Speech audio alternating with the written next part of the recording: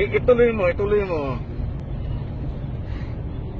So, would, would you like to apologize to the President and the people? Huh? So you're asking an apology? Ako, nagsasorry po kay President Rodrigo Duterte. At nagawa ko yung tweet na yun.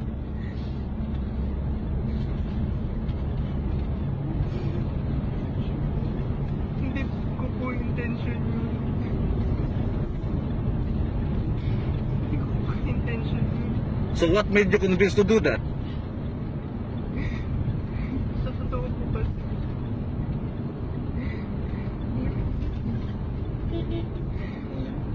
Yung Peter, yung kumbaga, nagiging sa loobin ko. Pero walang, yun, walang pumapansin. Kaya nagawa ko yun.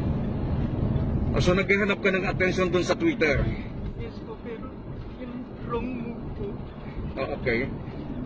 yun po talaga yung intention ko.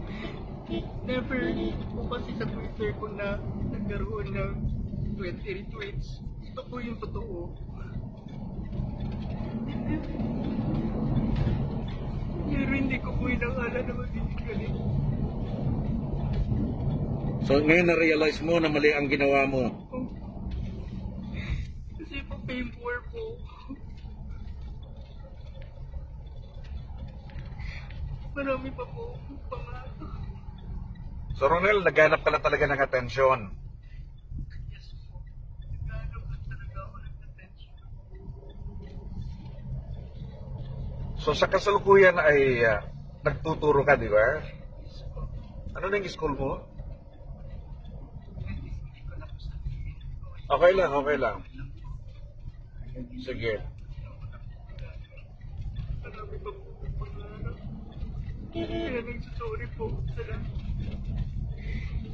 Pero alam ko po kilala ninyo ako. Kilala niyo po ako personally. So may aral sa itong ginawa mong to. Sobra po. Sobra.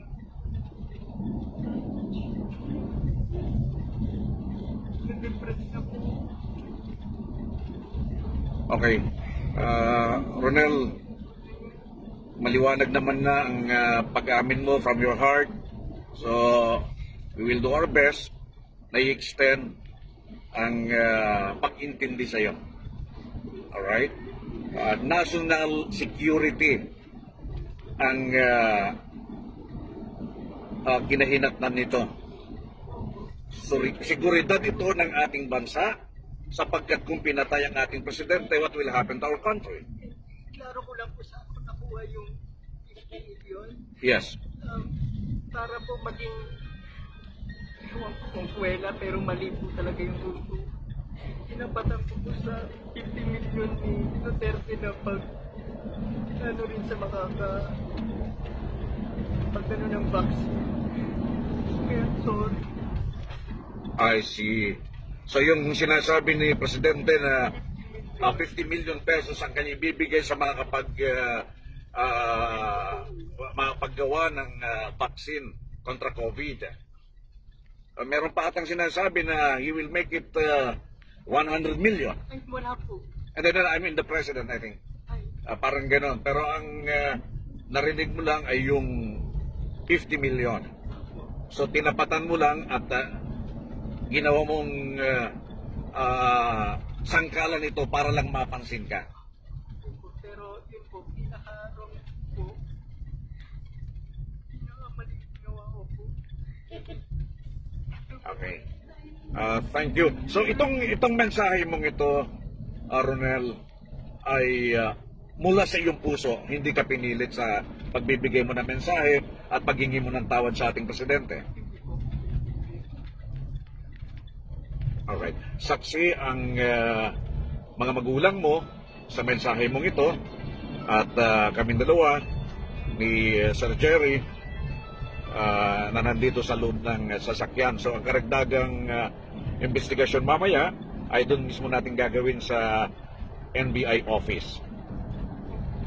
Okay, maraming salamat sa iyo, Ronel. Si Ronel Mas yung gumamit ng Twitter account na at Ron Prince.